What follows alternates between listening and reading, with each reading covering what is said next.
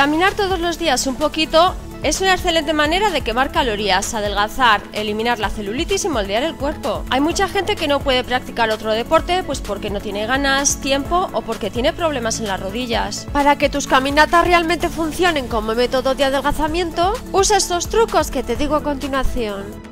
Tómate un té verde antes de ir a caminar. Me refiero a un té verde como este de bolsita normal. Para que tenga más efecto termogénico y queme más calorías le puedes añadir un poquito de canela, jengibre y pimienta. De esta manera que hago a continuación. Una vez que está hecho el té verde le añades una cucharadita de canela, una de jengibre y un cuarto de cucharadita de pimienta blanca. Otra opción es usar cúrcuma, si no tienes alguna de las anteriores, y le damos vueltas hasta que esté todo integrado y te lo bebes. Esto te ayuda a quemar muchas más calorías en tu rutina.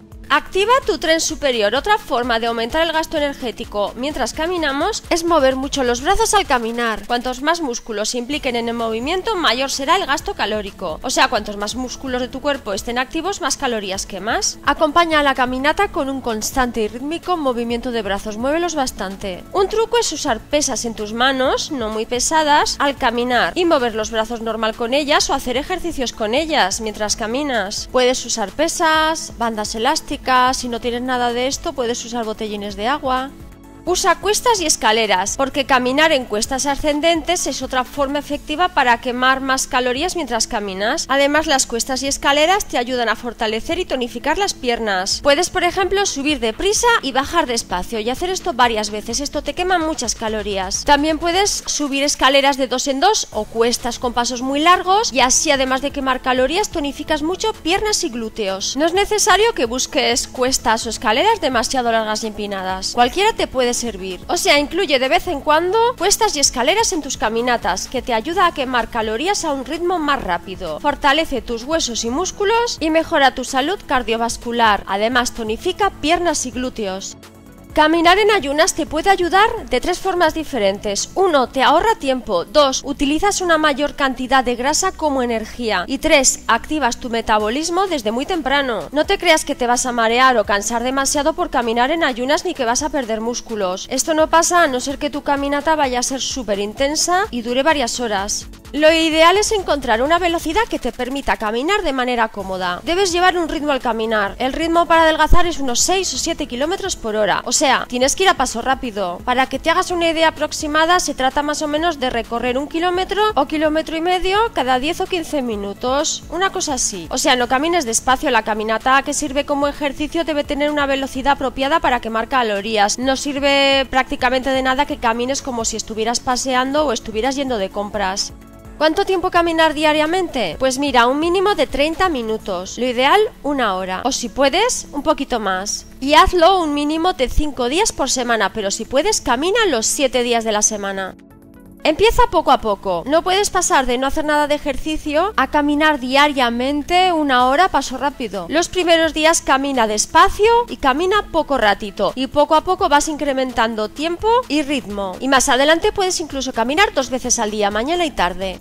Ves haciendo intervalos, esto te ayuda a quemar muchas calorías. Empieza caminando 10 o 15 minutos y a partir de entonces incorpora intervalos más rápidos. No es necesario que trotes o corras, sino que camines a un ritmo bastante más rápido. Por ejemplo, camina un minuto lento y dos minutos más rápido. O al revés, dos minutos lento y un minuto rápido. Y haz esto de 5 a 10 veces. Estos cambios de velocidad al caminar te aumentan mucho el gasto de calorías. Así que mientras caminas, ves haciendo intervalos de este tipo varias veces. Verás que quemas muchísimas más calorías y grasa. Algunos trucos para quemar más calorías son, por ejemplo, añadir un peso extra. Cuanto más pesas, cuanto más kilos tengas que mover, más calorías quemas en tu caminata. Así que puedes usar una mochila con peso, unas pesas en las manos, unas tobilleras en los tobillos, etcétera. Para quemar más calorías y tonificar más las piernas, puedes ir caminando de vez en cuando de formas diferentes. Por ejemplo, un ratito de puntillas, algún ratito apoyando talones solo, puedes ir levantando las rodillas mucho al caminar, puedes dar pasos rápidos pero cortos o dar pasos lentos pero muy grandes. Otro truco es que contraigas los músculos al caminar. Si haces esto verás los resultados más rápido porque no solo quemas más calorías sino que tonificas tu cuerpo. Mantén los abdominales apretados mientras caminas o el rato que tú te acuerdes y mantén los glúteos apretados y tensos los ratos que tú te vayas acordando mientras caminas. Para no estancarte, ves variando velocidad y tiempo en tus caminatas. O sea, no camines siempre igual, para que tu cuerpo no se acostumbre a que estás haciendo siempre lo mismo. Mete variaciones como te pongo aquí, ya que si tu cuerpo ve que haces siempre lo mismo, se acostumbrará y ya no va a quemar tantas calorías como al principio.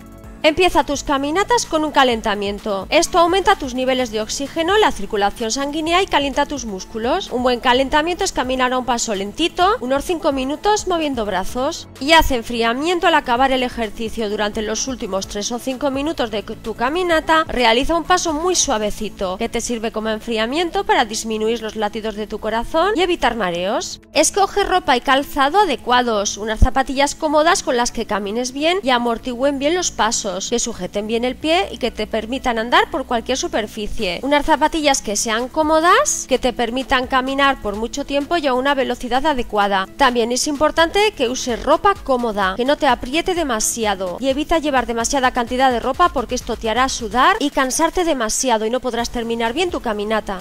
La respiración debe ser abdominal. Recuerda que caminar es un ejercicio aeróbico, nuestra sangre aporta oxígeno a los órganos y a los músculos que están trabajando y gracias a este combustible pueden quemar grasa y convertirla en energía. Y cuidado con la postura, es importante al caminar que tengas una postura erguida, con brazos y hombros relajados, sin agachar la cabeza ni curvar la espalda. Toma conciencia, tienes que convencerte de que a partir de ahora vas a dedicar una hora al día a caminar y tienes que cumplirlo. Encuentra ese pequeño instante a lo largo del día y camina. Para hacerlo más ameno, no que case la monotonía, cambia de vez en cuando de paisaje. Vete a la montaña, consigue una ruta interesante y bonita para seguir, queda con amigos para caminar y utiliza música. La música durante el entrenamiento es uno de los mejores motivadores. Incluso puedes encontrar música chula con cambios de ritmo que te ayudará a caminar con más energía.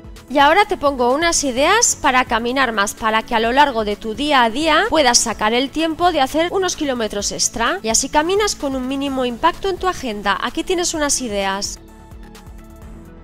Bueno, esto era todo por hoy, espero que os haya gustado el vídeo, que os pueda servir. Por favor, si os ha gustado, compartir el vídeo en vuestras redes sociales, que eso me ayuda muchísimo. Os mando un besazo enorme a todos y hasta muy pronto.